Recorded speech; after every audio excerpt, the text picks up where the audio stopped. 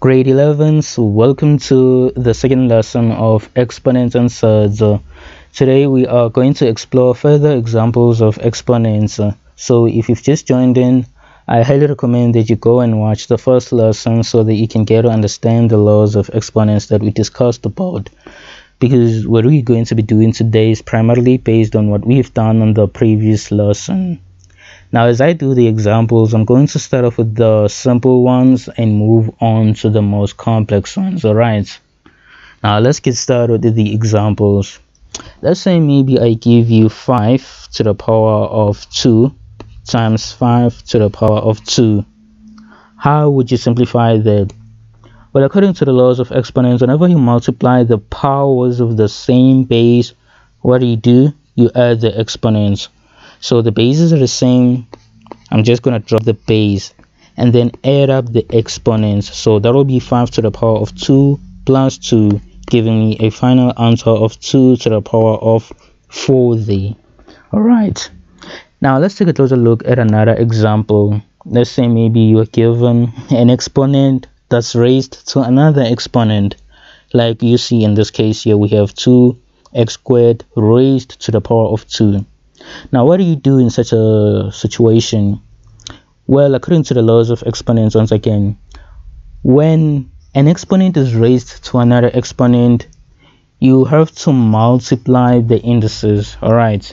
So that will be 2 raised to the power of 2 multiplied by x raised to the power of 2 multiplied by 2 there. So we multiply these together. Okay now that will give us a final answer of uh, 4x to the power of 4 there.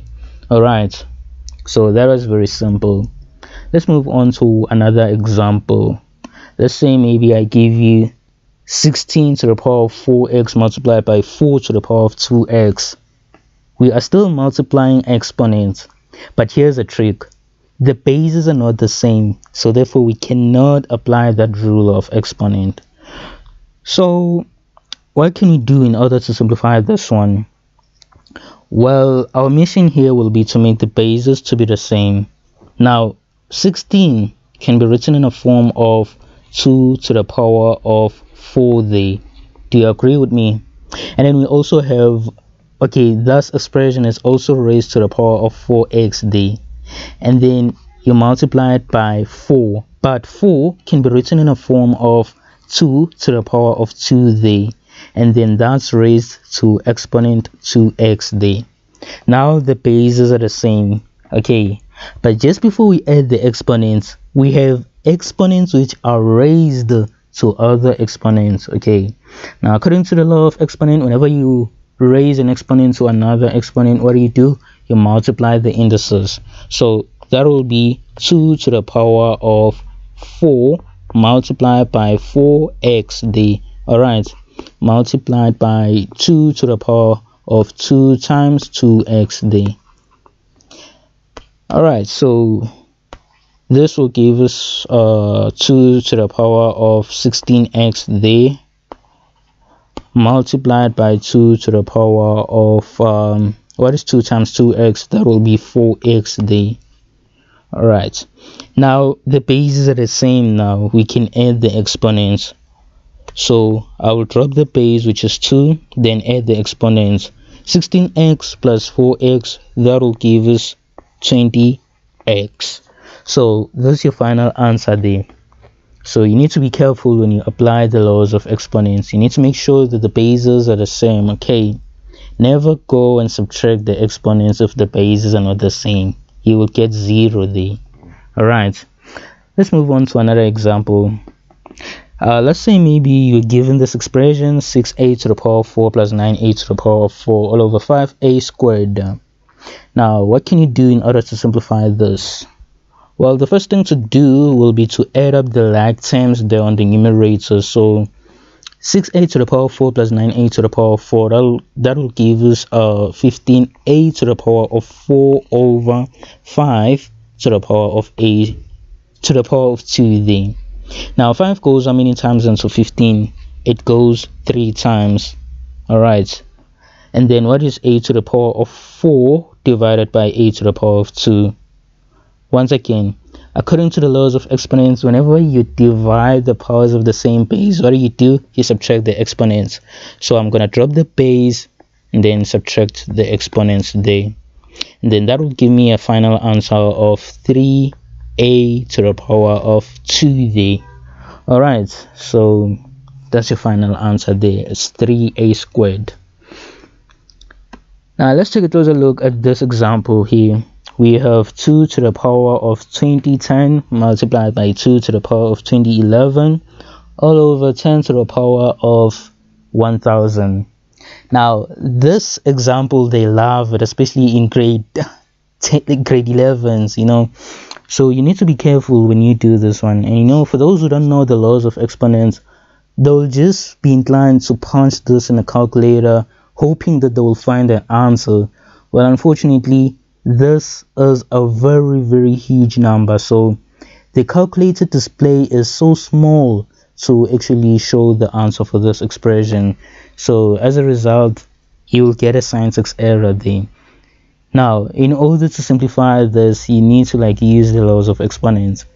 Now in this case the bases are not the same so there's nothing that we can do there. But is there a relationship with uh, between the numerator and the denominator there Yes, there is a relationship. Check this. If I say 2 to the power of 2010, 2 to the power of 2010 multiplied by 5 to the power of 2011 all over. Do you agree with me that 10 can be written in a form of 2 times 5? Do you agree with me? Because I haven't changed anything there. 2 multiplied by 5 will give you 10 and 10 is raised to the power of 1000 there all right so now i have a situation whereby i can actually you know divide the powers of the same base because i have 2 to the power of 2010 there on the numerator and i can i also have 2 on the denominator. I have 5 on the num numerator. I also have 5 on the denominator so what I can do is I can further simplify the denominator and say, okay, 2 to the power of 2010 multiplied by 5 to the power of 2011. Then that will be 2 to the power of 1000 multiplied by 5 to the power of 1000 there you see so i've used this rule saying that whenever you multiply two terms and then you raise them to an exponent then the exponent can further be distributed among the numbers of variables which are multiplied together there. So it will be a to the power of n multiplied by b to the power of n there. So that's what i've done on the numerator now 2 to the power of 2010 it'll be okay now that we are dividing the powers of the same base we have to subtract the exponents okay?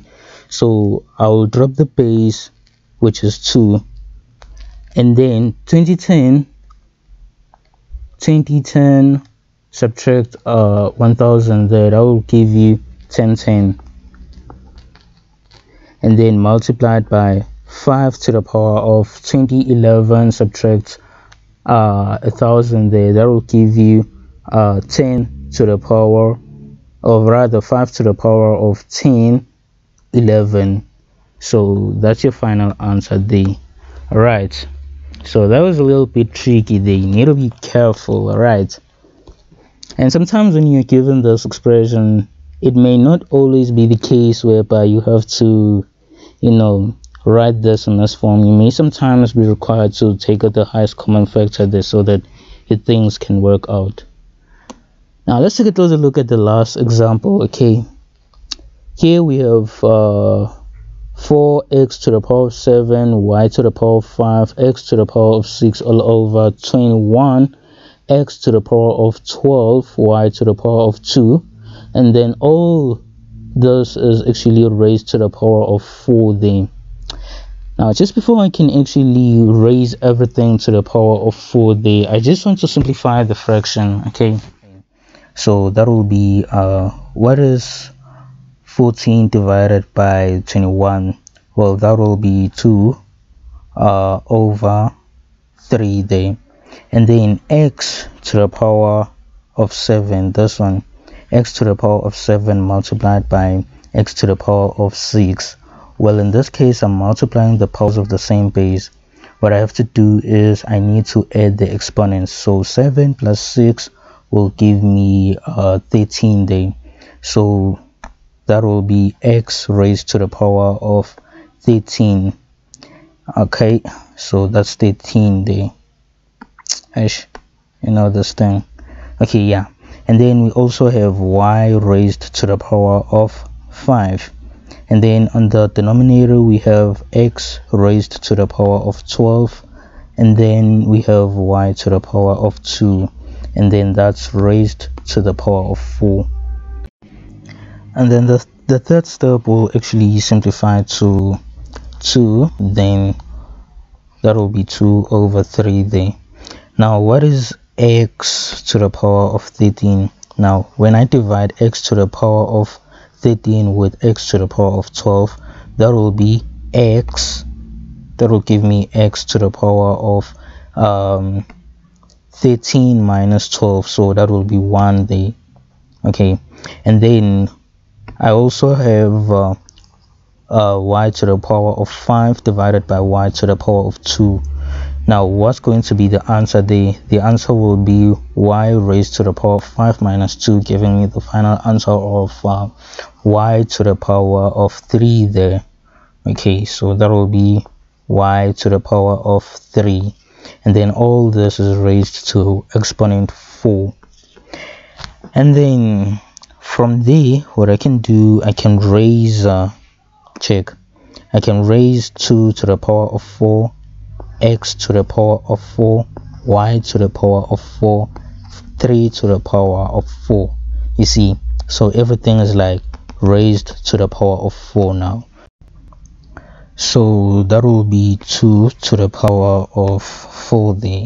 So it will be 2 to the power of 4 x to the power of 4 y to the power of 3 times 4 over 3 to the power of 4 the now what is 2 to the power of 4 that is uh 16 there so it will be 16 then x to the power of 4 y to the power of 3 multiplied by 4 that will be 12 all right and then on the denominator you will have 3 to the power of 4 giving you 81 so that's like your final answer there for the last uh, question there. All right now in the next lesson we are going to be talking about uh, negative exponents and the meaning of a to the power of naught. So make sure to stay tuned there. See you on the next one